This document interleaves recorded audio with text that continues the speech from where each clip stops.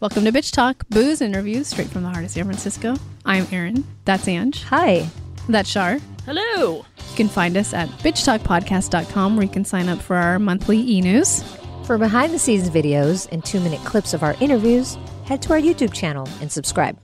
You can find us every other Thursday morning at 9:30 a.m. at bff.fm. And if you like what you hear, rate and subscribe wherever you listen to podcasts. For the love of God, do it. It really helps.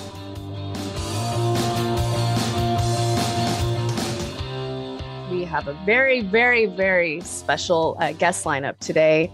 Uh, we're celebrating the Frameline Film Festival in San Francisco, and we're speaking with uh, two of the directors from the film Keep the Cameras Rolling, the Pedro Zamora Way, and also two of the featured I would say storytellers, uh, Judd Winick and Pam Ling.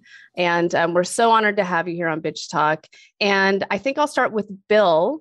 Uh, can you tell us what Keep the Cameras Rolling is about?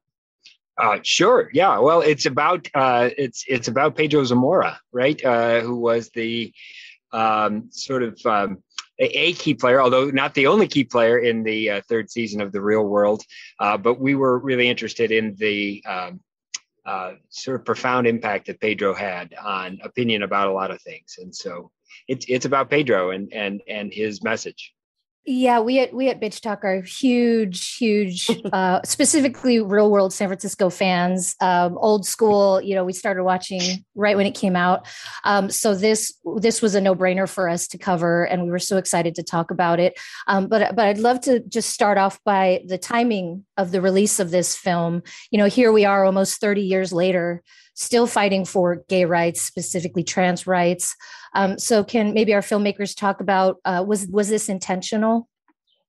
Yeah, yes, it really was. We uh, we started the film with hopes maybe to get it out in time for the 25th anniversary of the of the show and the pandemic and a few other things. You know, every documentary takes longer than you think. But one of our goals, this was the work. We're we're both professors at the University of Missouri, and uh, the, a lot of the people, if you watch the film, you'll see the credits to producers and writers and so on, were students. And Judd and Pam met the students. They did the interviews with them, and so we wanted the film to introduce this this generation, Gen Z, maybe maybe some younger millennials, to Pedro, and to let them ponder a little bit what's changed since 1994 and, and frankly what hasn't changed since 1994 i wanted to ask um, pat pam and judd you know it's been now 28 years um, since the yes. san francisco which is yes. scary. Um, but were you were you two approached um, in the last 28 years about maybe making a documentary about pedro? And if so um, how come Stacey and Bill were the ones to say yes to? Oh, um, well, I. We're incredibly um, charming.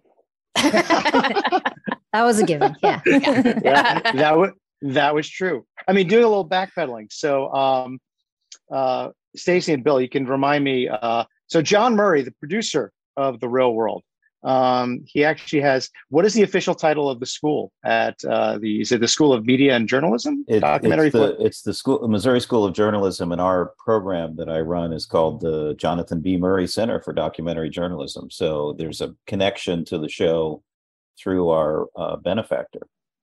Yeah. So John, who we've been you know we've been close to for the last 28 years, a producer of the show. Uh, Bill and Stacey had reached out to him about doing this. John reached out to us like, yeah, they're doing a documentary about Pedro. So for us, it was like, okay. so absolutely.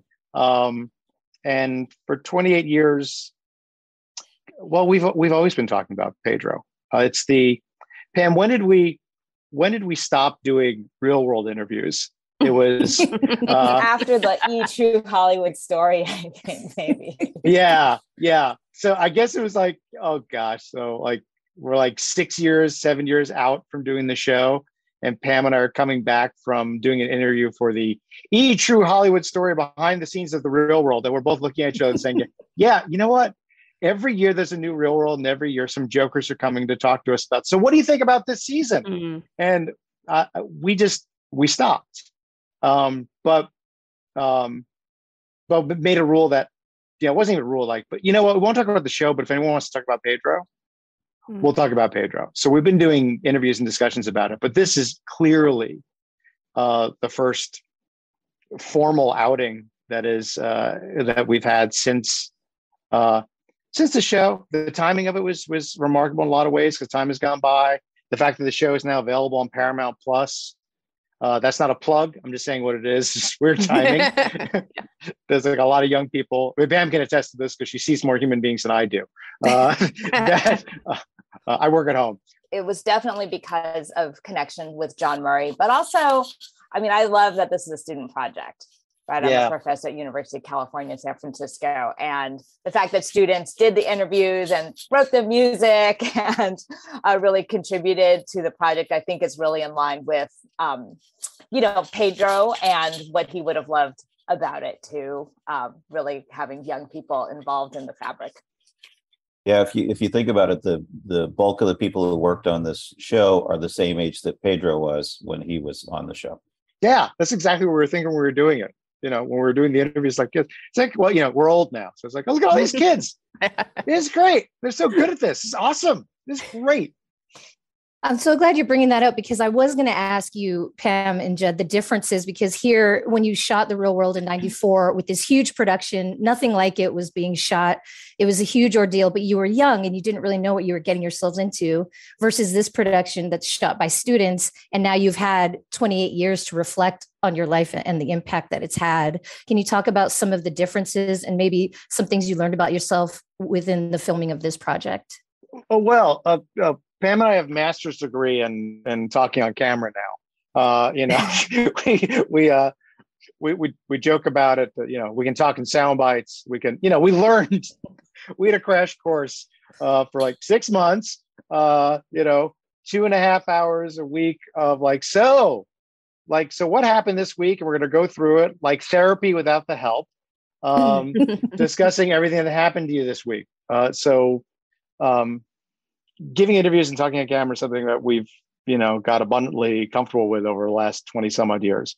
Um, but in particular i think we're we're most i think comfortable and happy to be talking about pedro um, and telling his story. I mean that's i think that the really beautiful thing about this documentary is that now we have this long view opposed to when we were living through it. We were I mean, literally living through it and talking about it in real time, and then uh, and then just briefly after we lost him, talking about it again. So here we are, as as adults.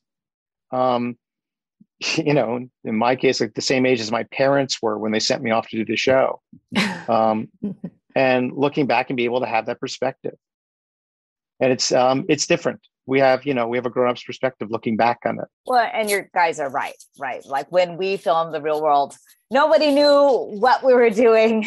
It, uh, we did not really have an awareness of how many people would see the show or what kind of impact. We had a little bit of an inkling that it would be important but you know the reality of really you know what it's like to not be able to go to a shopping mall without being mobbed or pedro and sean went roller skating after the show was on tv and like basically couldn't even get around the rink one time because there were um, so many people coming up to talk to them. Um, that is something you can think about in theory uh, but the reality of it really wasn't in our minds when we were filming. Um, nowadays right everyone has can put themselves on tiktok or on the internet and has direct access to putting their story out there. Uh, and of course, now people know abundantly what reality TV is and and that process. So the context is really different. Um, but what I really value about this film that makes it different, I think, is that you know people can put their story like what I ate for breakfast today uh, on TikTok right now. But uh, I think the attention to context and making you know the time and the interviews they had with you know everyone from the historians to you know to bill clinton and dr fauci to uh, put in context really what was happening at the time and making that seem relevant and real to people today who didn't live through it is something you don't normally see. Yeah i was gonna say i was surprised to see bill clinton in the doc was he an easy get? No, not at all. uh, no, that was that was a lot. That took a long time, but um, uh, you know, once we were in the room with him, he was really great and really, really wanted to talk about Pedro. You know, we were told we would have about 15 minutes with him, and we were with him for um, a couple of hours altogether. And uh, so um, he he remembers Pedro well and uh, understands Pedro's importance really well, and uh, so. Uh, but the initial uh, setting it up was a lot of work. it took a long time. No, I think that was an important part of the film. It was refreshing because it's now we're so jaded and it's like, oh, people are just doing things for show. They don't really care. So I think it was nice to remember that some good things happened in our past at some point. So anyway, moving on. moving on. Um, uh, so Pedro was such a public figure. Uh, he lived his life just out in the open. And I'm curious to know if there was anything that came up during the, the course of this film that was a surprise to any of you. Maybe we can start with the filmmakers. Um, anything you heard, any stories you didn't know um, that, that came out? I don't know if it was a surprise, but uh, Millie Zamora, Pedro's sister, is uh, featured in the film and she opened her home to us in Miami and was so uh, ready to talk about Pedro, you know, and there's some tears through that interview and you'll see that there, but Pedro had a scrapbook that's, you know, featured in the, in the show and uh, Millie keeps that scrapbook still. She's added to it and, you know, she opened that up for us. And so it was a chance to, I think we felt like we had a chance to see a lot more about Pedro than, than anybody had seen before that didn't know him. Yeah, I mean, I would say that I, I had a I had a particular view of Pedro, which was from watching the Real World, right? And and uh, and a long time ago, I, you know, I was I was I think I I think I took cut a couple of years off my uh, off my age the last time I talked about this at a screening, uh, but I guess I was like 24 or maybe even 25 when it aired. And so, because uh, I'm 53 now, so whatever that math works out to. Um, but I was in graduate school and I watched it. Um, in part as something you know as as relief from studying and also in part because it was an area that i was interested in. I was looking at uh, the impact of uh, world aids day on public opinion. And uh, so so I, I, watched it with sort of a scholarly eye but still you know i didn't know pedro at all. And so everything i learned about pedro in working on this was new to me. And uh, but at the same time um, he was as great a guy as I thought he was, right? So, you know, how he appeared on TV is how he was in real life and in, in terms of the impact and, and, at least what I've learned about him. So he's a remarkable guy. Yeah, I loved that you guys got um, the family, uh, and then we got to yeah. hear a lot from Millie these days uh, and Pedro's father. Um, you know, they, uh, I think, of course, they were not on the real world, so they didn't sign up for reality TV, mm-hmm. but their, no. you know, their stories and their voices were um, really an amazing part of the documentary. Pedro's father, Hector, uh, is not in very good health now, and so we interviewed him in 2019, I believe it was, and we and he was having good days and bad days then, and we got him on a good day, and we're able to talk to him, and we saw him again when we were in Miami for the film uh, playing there, uh, and uh, he's again not doing very well. We couldn't do the interview with him now, for instance, if we had to, so I think we caught caught the family at a great time. Yeah, Hector's Hector's in his 80s, and um, he's a remarkable man.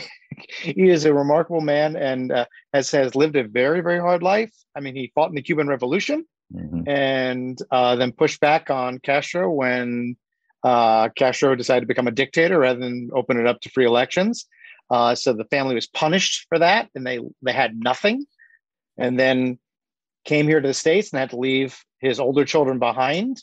Um, his wife died uh, uh, when they got here. Then his youngest uh, came out in a time where people were not coming out and they positive. I mean, you know, Pedro contracted HIV and then Pedro became one of the most famous people in America. And it's just, it's, uh, you know, imagine being a dad going through all of that.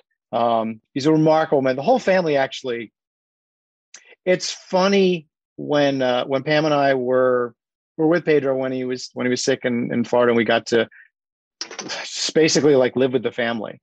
Uh, they are a fairly remarkable bunch who all are incredibly eloquent. Um, I remember when uh, Pam, remember when Jesus got up just without any notes and like gave a speech about Pedro?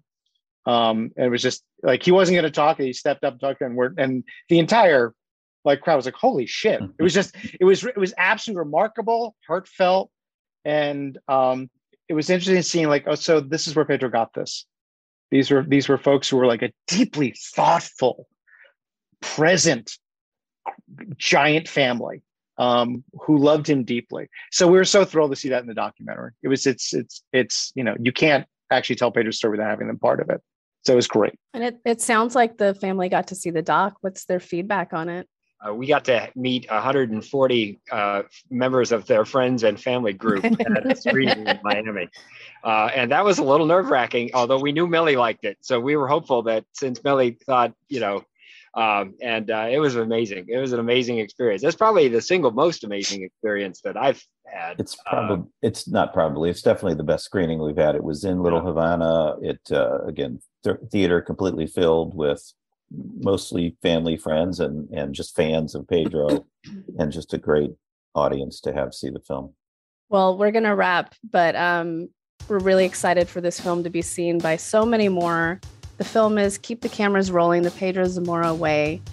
Uh, we're talking with co directors Bill Horner and Stacey Woelfel and uh, storytellers Judd Winick and Pam Ling. Thank you so much for being on Bitch Talk. Um, we love this film so much. Thank you very much. If you like what you hear, rate and subscribe wherever you listen to podcasts. For more information about us, you can head to bitchtalkpodcast.com. This podcast is created, hosted, and executive produced by Erin Lim. My co host is Angela Tabora, aka Captain Party. The show's edited by producer Shar. We're powered by GoTo Productions.